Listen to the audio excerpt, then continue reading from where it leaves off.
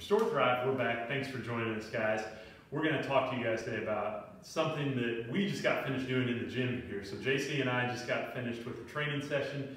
And for those of you who like to go to the gym, one of the things that we see that we all miss, ourselves included, is a quality cool down. And people think that that looks like a lot of different things, that it has to be some complex rolling or breathing technique. And we're actually going to talk to you about breathing, but we're going to make this just very easy for you guys to manage. So all you need is a chair, a box, something to put your legs on. And the reason we want to show you this is because we see so many people who do such a great job of keeping themselves in shape, but they eventually burn themselves down because if the only thing we do is just train, train, train, and push, push, push, we're going to miss the great benefits of exercise, which only come after the workout and we get a quality recovery process going. And we know that breathing in particular helps start that recovery process because a good slow inhale and exhale stimulates the part of your nervous system that signals recovery in your body. So here's what it looks like real quick. We're going to use the box here.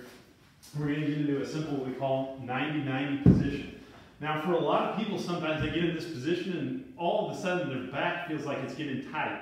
As long as it's not sharply painful, I want you guys to hang in here and try to just take a couple breaths. And what you'll find, myself included sometimes, after I lift heavy, my back feels tight. And after I breathe through a few rounds, it starts to let go. So all we're going to do is keep a hand on the stomach, a hand on the chest.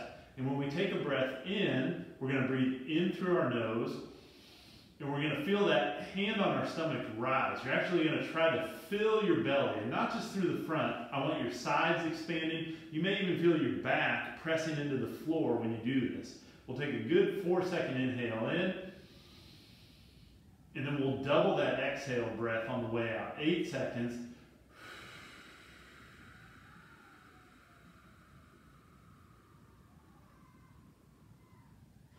All the way out. Somebody's just pushing gas out of the chamber of your diaphragm there. We're going to do 10 cycles of that. Four second inhale, eight second exhale, and on the last breath, we're going to take as big of a breath in as we can.